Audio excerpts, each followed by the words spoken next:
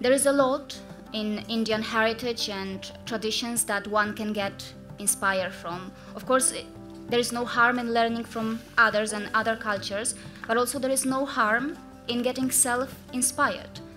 Also, I would like to mention that in every society there are dark elements, and India is no exception. Copying men is not empowerment. Making the same mistakes that men make is not empowerment. Doing only what men do is not empowerment.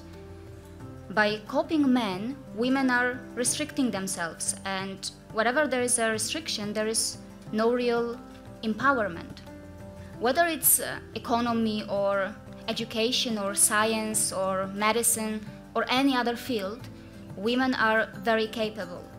But we must remember that competing with men is not empowerment. Self realization of your own unique inner strengths and being confident in who you are is very important. And as a society, we must create an atmosphere that allows that. As a society, we must create an atmosphere that encourages that. And as a society, if we lack that atmosphere, we are going to face many problems.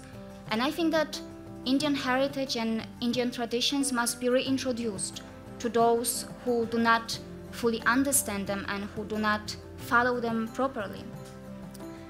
Women empowerment does not mean that women have to become more manly or that men have to become more, more feminine. Women are not here to replace men, and men are not here to replace women. Both are here to coexist and uh, balance each other out.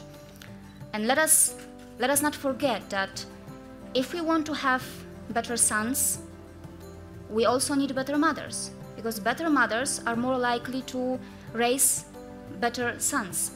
And that is why understanding the importance and real meaning of Shakti is so relevant in our everyday life.